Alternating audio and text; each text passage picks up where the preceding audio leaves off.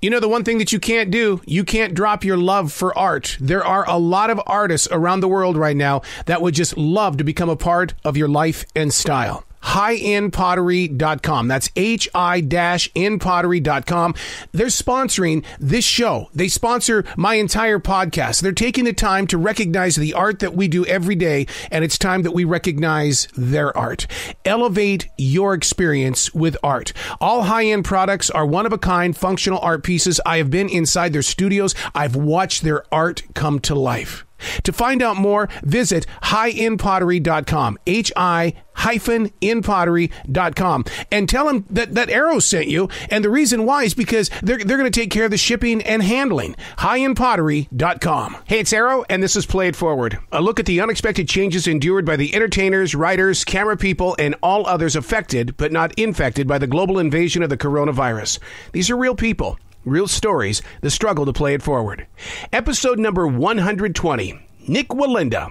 The face of the great Wallendas has just released his brand new book called Facing Fear Step Out in Faith and Rise Above What's Holding You Back. With his daring televised tightrope walks over Times Square, Niagara Falls, the Grand Canyon, and most recently an active volcano, Nik is known for pushing that envelope and identifying new iconic locations around the globe to conquer. He takes stepping out in faith to a whole new level and shares the lessons that he's learned along the way. Facing Fear is a practical guide to overcoming fears that unpack the life of the seventh generation member of the Great Wallendas, who had never experienced fear until a tragic accident back in 2017.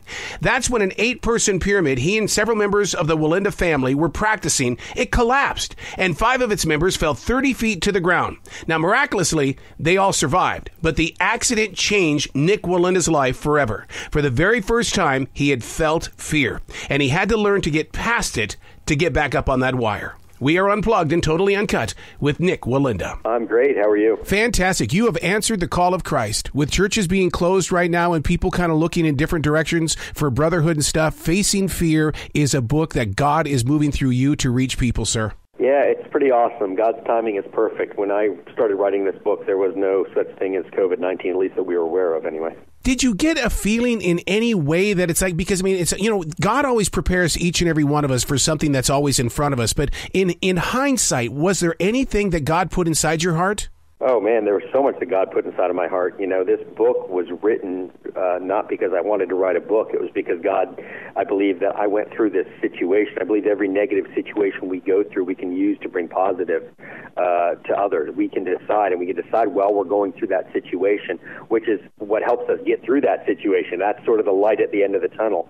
And I knew when I was going through this and facing this fear that became debilitating, where I didn't think I'd walk the wire anymore, I knew that there was a purpose for it. And that's when I started writing things down, even way back then. So, again, writing this book, really not to people that are facing fear, of course, to walk a wire, but really to, to the everyday person. I think so many people, I think God has this calling and this passion and desire that He places in people's hearts. And so often we give up on those passions and desires because of that verse in Proverbs where, where it says, lean not on your own understandings. And we always want to understand uh, rather than going, you know what, God, you are in control in the end. You are the, the way maker, and I can lean on you. And that's really why I wrote this book was to help others that are facing fear. It might be fear of, of, of training to, to run that marathon because they might not be able to achieve that dream or, or fear of even, even pursuing their, their dream job. Uh, I think, uh, or, or the calling that God has placed in their lives. So many people become complacent, settle for status quo because of that four letter word fear.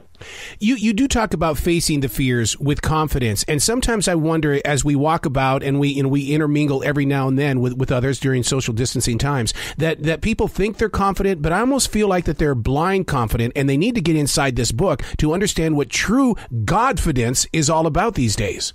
Yeah, you're absolutely right. I, I think it's it's important that we know uh, that we are walking in confidence, but in alignment with God and His Word. And I think it's so often, again, the world gets a hold of us, and we just sort of go down these rabbit trails. And rather than really, uh, really aligning with God's Word and making sure that everything we're doing does align with God's Word, and that again, I believe God brings that confidence, and that confidence often comes through through mistakes and failures. In fact, this accident is about an, uh, this book is about an accident that we had that nearly Yep. nearly took my sister's life. And and again, by the grace of God, I caught the wire. But certainly took my, my mental life uh, and my confidence away for quite some time. Dealt with shame, and before I could even deal with fear, I had to deal with the shame. So, uh, again, that's why I wrote this book was to help those people that are dealing with similar, uh, probably not exact situations, not likely, but but similar situations just in the walk of life. I believe everybody is on the wire. Everybody's trying to get to the other side, and God is that solid rock. He's the light at the end of that wire, and that's that's what I always try to focus on. Well, it definitely had to take inner strength for you to put down on paper to reach readers when you said that you have got to be able to call your fear by name because how many people's lives are going to change when they read that? Yeah, you you really do. I mean, you have to you have to be bold, and and and look, my faith plays a key role in my boldness for sure. And again, I make sure that everything aligns with God's word. But I can tell you, if it wasn't for my boldness in Christ and and my confidence and faith in the Word of God, I would have never been able to overcome this challenge. And I don't know, to, to be honest with you and blunt, I don't know how anybody who doesn't believe in Christ are able to get through situations like this because I, I would have given up. And, and I was ready to give, give up, even though I had the book, the guidebook to life, uh, and just sort of had to reevaluate and realize, you know what, I need to dig deeper into this. And uh, and I can make it through to the other side, and in doing so, I can help others so they don't have to maybe go quite as far down that trail. Don't you think that we're living in times where, where we are Peter and Jesus is saying, walk, you need to walk to me, but, but everybody's going, no, no, no, no. And we're falling in the water. And, and your book teaches us, walk to Jesus. Just get there, man.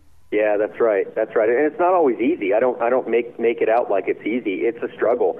And we will continue to sink, but guess what? Jesus will be right there to reach down and grab our hands and pull us out every single time. I think I think so many people think that uh, success, which can be different to other people, but failure is the opposite of success. The reality is we have to fail in order to be successful. And uh, part of that failing is starting to sink, and then Jesus grabbing our hands and pulling us back out and saying, "Nope, no, my son, let me pull you back up." There's so much power we as believers don't realize how much power there is in just knowing that, that God is our Father.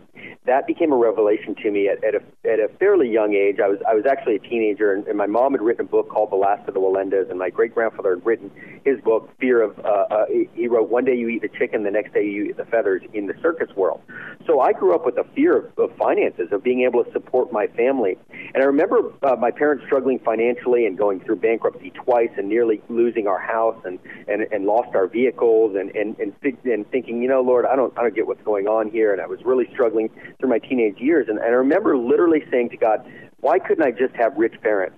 And God literally said to me, Nik, I am your father. That's all he said. And that revelation changed the direction of my life. And if we could all accept the fact that God is our father, the creator of the universe, the access to everything, he made us in his image. If we could just accept that, we'd be able to get so much further in life. He is the great I am, and he is working through you on this book. And I love your chapter, Fear of Feathers, because it puts us face to face with the fear of the unknown and can't control, which absolutely opens up our heart to get some control.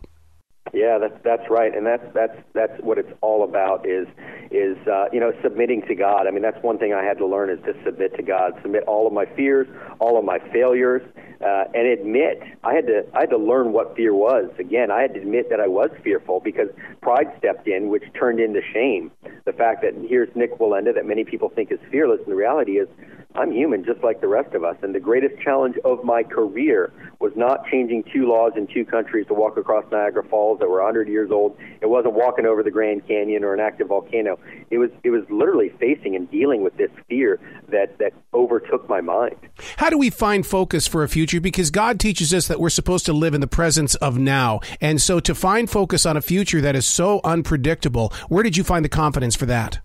Yeah, I mean, look, the Bible says don't worry about tomorrow. If today has enough troubles of its own, and I've tried to I've tried to always rest in that. But I also believe that God places desires in our hearts, and often because of fear, we talk ourselves out of fulfilling those desires that God has placed in our hearts. Because of the fear, again, the fear of failure, the fear of the the, uh, the fear of stepping out in faith. Look, I've been bold throughout my career and my Christianity and my faith. I'm on national TV quite often, and, and there's no no question that Nik Wallenda, uh, you know, respects and, and serves uh, Jesus Christ as his Lord and Savior, and, and never hidden from that. And and I think so many people are scared of that alone. Uh, but but that in the end is truly our calling. That is truly the desire that we should all have in our hearts is to lead others to Christ because that is an eternal gift that we could never ever replace. Well, this this book is a is a giant step in that direction, sir. You got to come back to this show anytime in the future, Nik.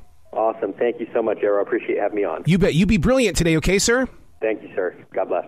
That's Play It Forward. Hey, you can hear other conversations just like this on all three of my podcasts Like It's Live, Unplugged and Totally Uncut, and View from the Writing Instrument, all found on every digital platform.